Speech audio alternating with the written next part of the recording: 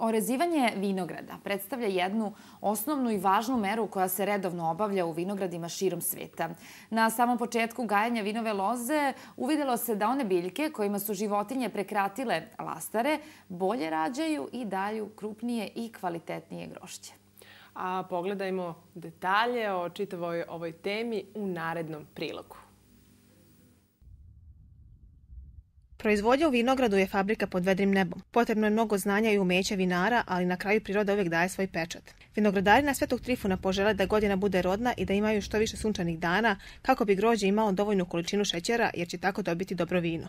Svaki vinograd ima svoje specifičnosti koje dobar vinogradar osluškuje i prati. Vinova loza tradicionalno počinja se reže e, posle Svetog Trifuna. Znači to je otprilike period kada prestaju jako niske zimske temperature koje mogu da izazovu oštećenja, pa je to negde tradicionalno datum kada može da počne rezidba. Međutim, u novije vreme, zbog velikih površina ovaj, koje postoje određenim zasadima, mora se kreni ranije, a naročito i zbog promene klime, tako da nema više tako oštrih zima kao ranije, tako da može i ranije da se počne.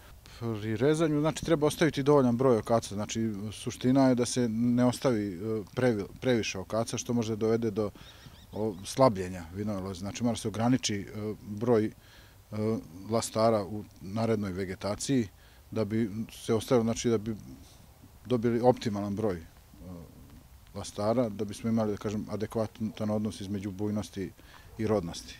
Sveti Trifun je zaštitnik, a njegov dan po tradiciji je prvi dan proleća. Veliki broj verovanja vezanih za ovog sveca dokaz je koliko se njega nade polaže i što se uvek slavi kao krsna slava. Pravoslavni hrišćani sve što čine vezuju za izvor života u večnom Bogu, e, te tako i orezivanje vinove loze koje se vrši u rano proleće povezano je sa praznikom Svetog Trifuna, jer e, njegova e, mladalačka žrtva je donela do velikih, velikog roda u budućim generacijama baš u pogledu vernosti Bogu i večnim vrednostima.